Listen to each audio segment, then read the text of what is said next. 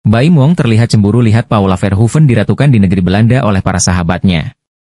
Seperti yang kita ketahui Paula Verhoeven terus membagikan aktivitas yang menarik, di tengah pikuknya perceraian antara dirinya dan suami, Baim Wong.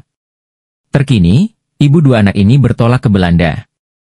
Sempat tak enak hati karena harus berangkat tanpa Kiano dan Kenzo, Paula Verhoeven tetap mencoba fokus dengan pekerjaan yang harus diselesaikannya. Memang benar, Paula Verhoeven totalitas atas apa yang dikerjakannya, terutama bersama sahabat tercinta, Tia Aristia. Melalui unggahan di Instagram, Paula Verhoeven kedapatan berkunjung ke tempat istimewa yang ada di sana. Tempat tersebut adalah KBRI Belanda yang berlokasi di Den Haag. Bukan tanpa alasan kedatangan Paula bersama Tia itu tak lain untuk berkoordinasi mengenai acara yang akan mereka hadiri, Modest Fashion Festival 1.0 di Discovering the Magnificence of Indonesia Expo di Belanda. Acara tersebut digelar mulai 28 November sampai 1 Desember 2024 di Jabours Utrecht, Belanda. Acara tersebut tidak hanya menawarkan pertunjukan seni namun juga beragam workshop. Pertemuan peserta Demi underscore Expo with KBRI Den Haag, tulis Paula Verhoeven di Instagram, dilansir suara.com pada Kamis, 28 November 2024. Pada kesempatan tersebut, Paula Verhoeven sempat berfoto di depan tulisan Kedutaan Besar Republik Indonesia. Senyuman ceria dipamerkan oleh sang model di hadapan kamera. Discovering the Magnificence of Indonesia.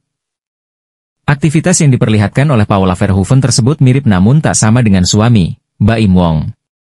Pasalnya, Baim Wong sama-sama memamerkan momen berkunjung ke luar negeri. Hanya saja, Baim bertolak ke negeri tetangga, Malaysia.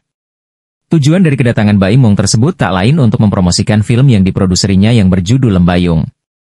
Premier Lembayung di Malaysia, 5 Desember 2024, Tulis Baim Wong bersama unggahan feed di Instagram. Selain itu artis Baim Wong sempat dihujat oleh netizen imbas membongkar soal peselingkuhan Paula Verhoeven dengan seorang pria berinisial NS. Baim Wong dituding cari perhatian dan sengaja memojokkan Paula Verhoeven. Namun, Baim Wong memberikan pembelaan usai terlanjur sakit dikhianati. Saya memang dikhianati dua orang terdekat. Pihak perempuan sama laki-laki. Laki-laki ini teman dekat saya sendiri, ujar Baim Wong, Kamis, 28 November 2024.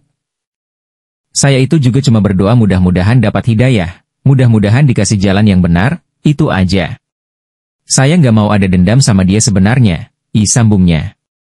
Meski akhirnya dihujat, Baim berusaha untuk tetap legowo. Ia berdoa agar dirinya dengan Paula masih berhubungan baik. Alhamdulillah doain aja, doakan yang baik-baik untuk saya, keluarga dan juga Paula, insya Allah. Jadi kalau saya yang terbaik buat keluarga.